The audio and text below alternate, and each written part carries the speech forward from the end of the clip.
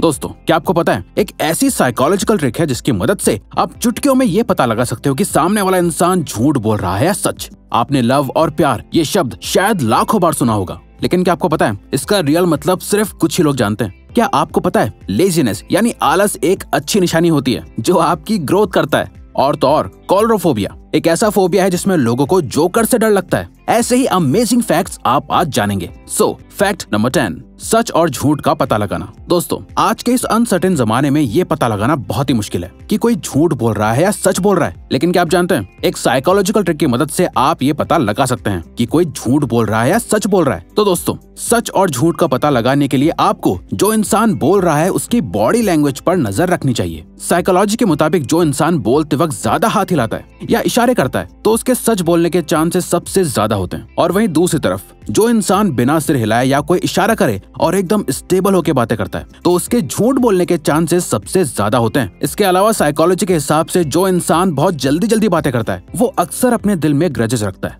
और ऐसे दिखाता है की जैसे वो आपका बहुत अच्छा दोस्त है। नंबर नाइन खुद की इम्पोर्टेंस आपने हर किसी से सुना होगा कि हमें सब चीज़ों को इम्पोर्टेंस देनी चाहिए। लेकिन क्या आप जानते हैं, एक इंसान को अपनी लाइफ में सबसे ज़्यादा इम्पोर्टेंस तीन चीज़ों को देनी चाहिए। पहली, खुद को, दूसरी, अपनी फैमिली को, और तीसरी, अपने करियर को। आखिरकार यही तीन चीज़ें आपकी ज़िंदगी को आकार देती हैं और उसे साकार बनाती हैं। साइकोलॉजी के मुताबिक ये तीन चीज़ें ही इंसान को असल खुशी देती हैं। जब इंसान के अंदर सेल्फ कॉन्फिडेंस नहीं होता है या फिर उसके पास फैमिली और अच्छा करियर नहीं होता है तो वो सबसे ज़्यादा बर्बाद महसूस करता है। जो लोग इन तीन चीज़ों को इम्पोर्टेंस ना देकर बाकी चीज़ों पर फोकस करते हैं, वो कभी खुश नहीं रह पाते हैं, क्योंकि अच्छे कपड़े तो आपको कुछ दिन तक तो खुशी देते हैं, लेकिन उनसे सारी ज़िंदगी नहीं कटती है। इसीलिए दोस्तों, आपको हमेशा अपने आप को, अपनी फैमिली को और अपने करियर को अहमियत देनी चाहिए। जब आप इन तीनों चीज़ों को इम्पोर्टेंस देंगे तो बाकी चीज़ें अपने आप सेटल होने लग जाती है। नंबर एट दुश्मनी। क्या आप जानते हैं कि दुश्मनी का असल मतलब आखिर क्या होता है? दोस्तों, दुश्मनी सिर्फ़ वो नहीं होती है जो किसी को मारने या किसी को बुरा कहने से होती है, बल्कि दुश्मनी बहुत तरह की होती है। लोग तो अक्सर एक दूसरे से अच्छे लुक्स और अमीरी की वजह से भी दुश्मनी कर लेते हैं। अब तो हाल कुछ ऐसा है कि लोग अपने ही रिश्तेदारों की कामयाबी से जलने लगे हैं और मन ही मन दुश्मनी पाल लेते हैं। इसके अलावा साइकोलॉजी के मुताबिक अगर आप कभी सच बोलते हैं या किसी के सामने अपना पॉइंट ऑफ़ व्यू रखते हैं या फिर किसी को समझाते हैं कि वो गलत है तो इस तरह की सिचुएशन में भी लोग आपको दुश्मन मानने लगते हैं। तभी ऐसा कहा जाता है। आपके पेरेंट्स के अलावा आपका कोई भी सगा नहीं होता है। वैसे साइकोलॉजी के मुताबिक, हमेशा सच और सही का साथ देने से आपके दुश्मन तो बहुत बनते हैं।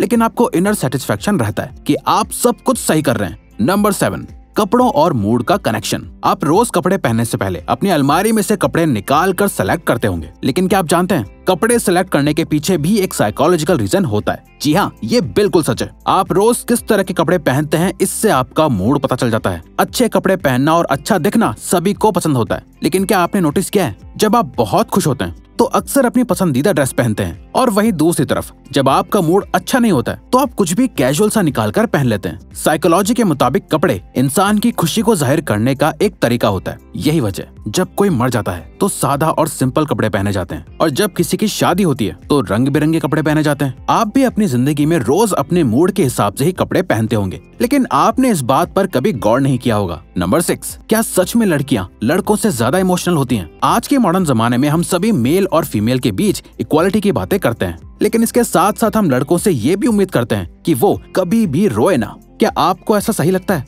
इसके अलावा आपने नोटिस किया होगा कि बॉयज़ की तुलना में गर्ल्स बहुत जल्दी इमोशनल हो जाती हैं और रोने लगती हैं। लेकिन क्या आपने कभी सोचा है कि बॉयज़ इतनी जल्दी क्यों नहीं रोते हैं? जबकि फीलिंग्स तो बॉयज़ और गर्ल्स दोनों में इक्वली ही होती हैं। चलिए हम आपको बताते हैं। असल में दोस्तों, इसके पीछे भी साइकोलॉजी होती है। दरअसल साइकोलॉजी के मुताबिक, लड़कों को बायोलॉजिकली ही नेचुरली इमोशंस को हैंडल करना आता है और लड़कों के अंदर अपने आंसुओं को रोकने की क्वालिटी भी होती है। इसके अलावा अगर आप गौर करेंगे तो आपको पता चलेगा कि हम सभी लड़कों से ये उम्मीद करते हैं कि वो कभी रोए नहीं। हमारी सोसाइटी का मानना है कि रोने वाले लोग कमज़ोर होते हैं और ये सोच बचपन से ही लड़कों के दिमाग में डाल दी जाती है, जिस वजह से लड़के बचपन से ही खुद को इमोशनली स्ट्रॉन्ग बना लेते हैं। जबकि साइकोलॉजी के हिसाब से रोने का किसी के कमज़ोर या मज़बूत होने से कोई रिलेशन नहीं होता है, बल्कि साइकोलॉजी के मुताबिक रोने से दुख कम होता है और इंसान रिफ्रेश हो जाता है। नंबर फाइव लेजीनेस आलस। आज की इस दौड़ भाग भरी ज़िंदगी में भी अधिकतर लोगों को बहुत आलस आता है। हमारे बड़े हमें हमेशा कहते हैं कि बच्चों में तो फुर्ती होनी चाहिए। तुम इतने यंग होने के बाद आलस कैसे दिखा सकते हो? लेकिन दोस्तों, क्या आप जानते हैं?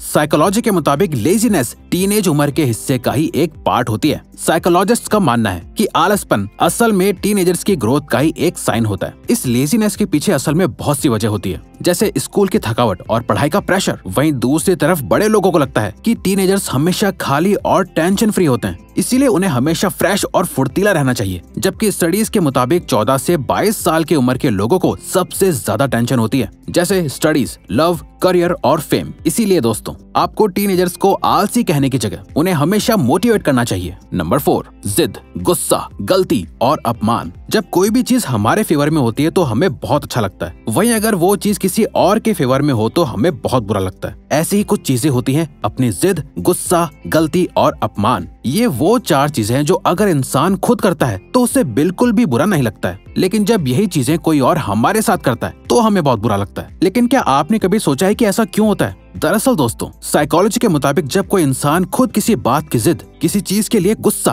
कोई गलती या अपमान करता है तो उसे लगता है कि वो सही है और बाकी सब गलत है। और वहीं जब कोई दूसरा इंसान ऐसा करता है तो उसे इरिटेशन होने लगती है। अब आपको समझ आ रहा होगा कि इंसान अपने लिए तो सारी सहूलियत रखता है, लेकिन किसी और को ऐसा नहीं करने देते जैसे एग्ज़ाम्स में चीटिंग करना। नंबर थ्री इमोशनल पेन दोस्तों पेन फ़िज़िकल हो या इमोशनल दोनों में ही बहुत तकलीफ़ होती है। लेकिन ये भी सच है कि फ़िज़िकल और इमोशनल चोट वक्त के साथ साथ कम और ठीक हो जाती है। अब आपको लग रहा होगा कि इमोशनल पेन तो कभी खत्म ही नहीं होता है। वो हमेशा आपको दुख देता रहता है। लेकिन ये सच नहीं है। साइकोलॉजी के मुताबिक इमोशनल पेन ज़्यादा से ज़्यादा सिर्फ़ बारह दिन तक ही रहता है। वो तो इंसान खुद ही उस बात को बार बार याद करते हुए और सोचते रहते हैं कि उसने हमें बहुत दुख दिया है। जबकि असल दर्द तो हमें खुद अपनी वजह से बातें याद कर करके हो रहा होता है। अगर आप इस इमोशनल पेन से छुटकारा पाना चाहते हैं तो आपको उस बात को भूलना होगा, जिससे आपको तकलीफ़ हो रही है। नंबर टू कोल्रोफोबिया इंसानों को बहुत सी चीज़ों से डर लगता है, और हर एक डर का अपना एक पर्टिकुलर नाम होता है। ये डर किसी भी चीज़ का हो सकता है, चाहे वो भीड़ से लगे या फिर किसी फनी से दिख रहे जोकर से लगे। क्या आप जानते हैं, जोकर से लगने वाले डर को असल में कोलरोफोबिया कहते हैं। ये एक ऐसा साइकोलॉजिकल डर होता है जिसमें लोगों को जोकर से बेहद डर लगता है। आपको जानकर हैरानी होगी कि जिसको भी ये फोबिया होता है, उन्हें जोकर देखने और बल्कि जोकर के बारे में सोचने से भी डर लगता है। और तो और, अगर कोल्ड्रोफोबिया वाले लोग जोकर को देख भी लेते हैं तो उन्हें स्ट्रेस होने लगता है और फीवर तक आ जाता है। ऐसा माना जाता है की ये डर